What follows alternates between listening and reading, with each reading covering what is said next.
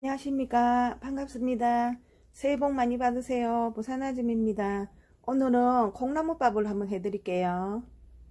콩나물 먼저 데쳐내겠습니다. 콩나물은 300g이고요. 가장자리에 물을 약간 둘러주세요. 그리고 소금 간을 합니다. 소금 소스 약간 뿌려주세요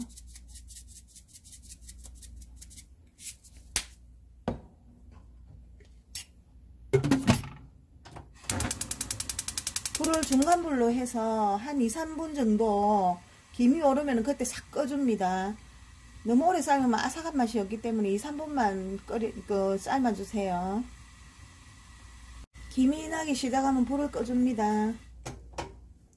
뚜껑 한번 열어볼게요.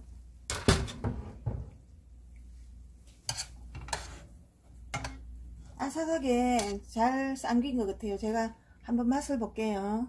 소리 한번 들어보세요.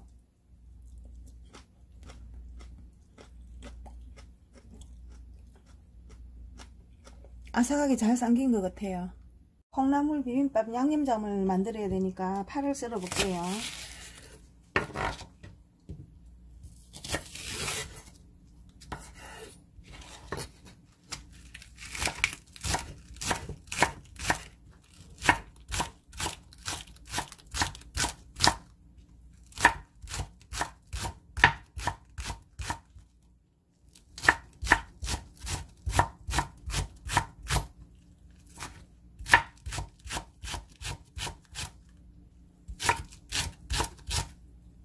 총총총총 썰어주세요.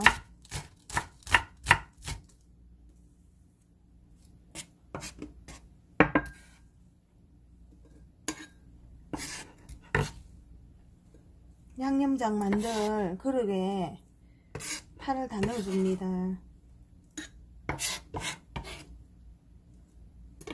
이렇게 다 담아주세요. 마늘을 한 스푼 넣어줍니다. 파 썰은 데 마늘 넣고요. 진간장을 넣어주세요. 저어줍니다. 여기에 참기름 들어갑니다. 시골에서 짜가지고 온 참기름인데 굉장히 고소하더라고요. 참기름 듬뿍 넣어주고요.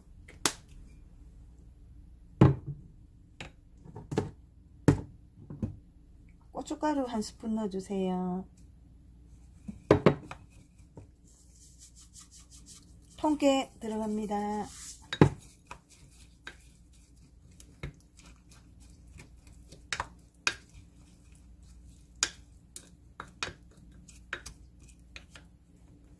이렇게 맛있는 콩나물밥에 얹을 양념장을 만들었습니다.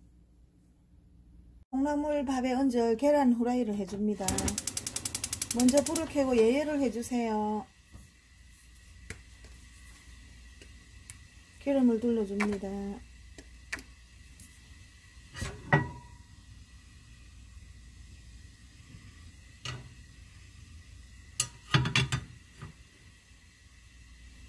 예열을 해주세요.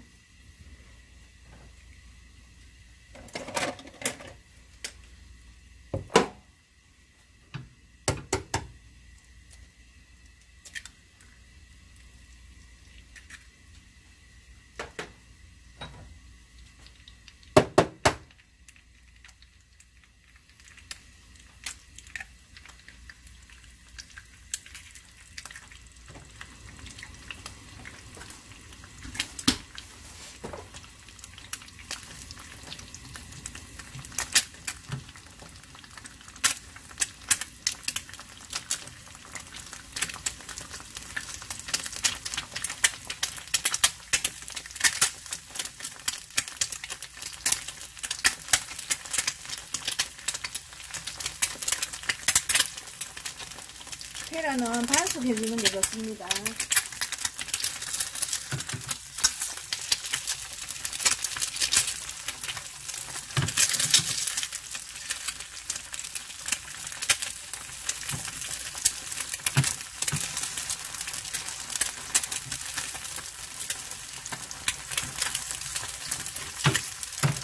불을 끄도록 하겠습니다.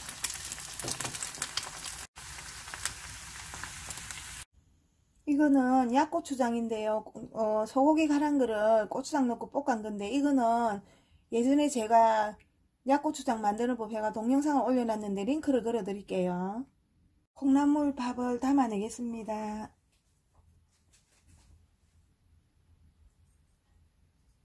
콩나물을 듬뿍 넣어주세요.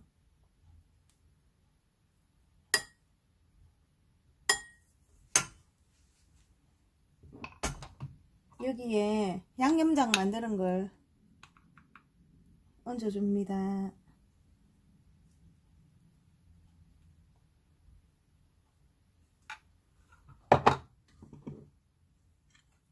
약고추장 소고기 넣고 한 거 듬뿍 얹어주고요.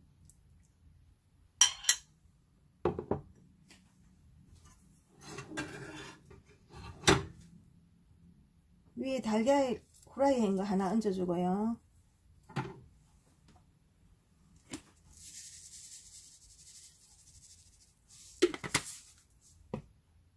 깨를 뿌려주고요.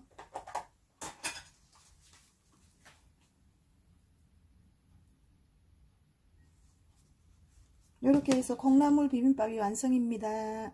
여러분도 간단하게 해먹을 수 있으니까 한번 도전해보세요. 감사합니다.